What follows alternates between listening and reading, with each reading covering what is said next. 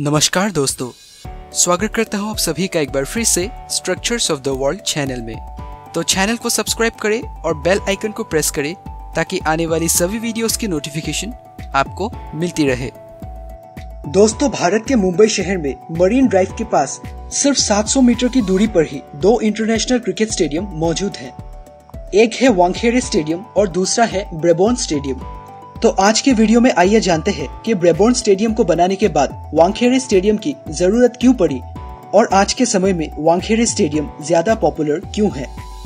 दोस्तों, इन दोनों में से ज़्यादा पुराना है ब्रेबोर्न स्टेडियम, जिसे मुंबई के चर्च गेट में सन 1937 में ही खोला गया था। इस स्टेडियम के मालिक है क्रिकेट क्लब ऑफ़ इंडिया और इसकी सीट कैपेसिटी है बीस हज़ार। और इसे उस वक्त के बॉम्बे के गवर्नर लॉर्ड ब्रेबोर्न के नाम पे ही रख दिया गया था। ब्रबोर्न स्टेडियम को सन 1948 से 1972 के बीच इंटरनेशनल टेस्ट मैचेस खेलने के लिए यूज़ किया जाता था। और इंडिया की ज़मीन पर सबसे पहला टी ट्वेंटी इंटरनेशनल मैच भी ब्रबोर्न स्टेडियम में ही खेला गया था सन 2007 में। दोस्तों, पहले बीसीसीआई का हेडक्वार्टर भी इसी स्टेडियम में था और सन 2006 तक 1983 क्रिकेट वर्ल्ड कप का ट्रॉफी भी ब्रेबोर्न स्टेडियम में ही रखा गया था। उसके बाद इस ट्रॉफी को वांखेड़े स्टेडियम ले जाया गया। दोस्तों, ब्रेबोर्न स्टेडियम के बनने के बाद से ही इसके मालिक क्रिकेट क्लब ऑफ़ इंडिया और बॉम्बे क्रिकेट एसोसिएशन के बीच हमेशा से ही सीट अलॉटमेंट को लेकर छोटे मोटे कंट्रोवर्सीज होते रहते थे।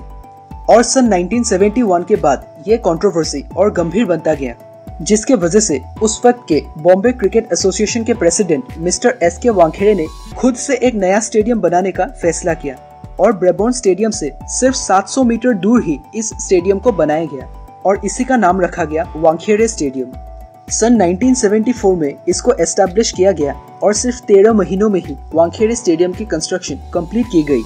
मॉडर्न फैसिलिटीज़ से भरे होने की वजह से वांखेड़े स्टेडियम को ही मुंबई की मेन क्रिकेटिंग वेन्यू के रूप में यूज़ किया जाने लगा और तभी से ब्रेबोर्न स्टेडियम की पॉपुलैरिटी धीरे धीरे कम होती गई।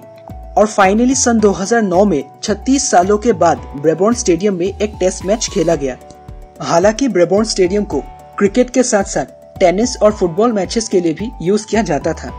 दोस्तों वांगखेड़े स्टेडियम की अभी की सीट कैपेसिटी है 33,000 लेकिन पहले इसकी सीट कैपेसिटी थी लगभग 45,000 दरअसल 2011 क्रिकेट वर्ल्ड कप फाइनल के लिए वांगखेड़े स्टेडियम का नाम सिलेक्ट किया गया था जिसके वजह से लोगों के कंफर्ट के लिए यहाँ एक रिनोवेशन का काम शुरू किया गया था और उसी के चलते इसकी सीट कैपेसिटी को थोड़ा कम कर दिया गया था।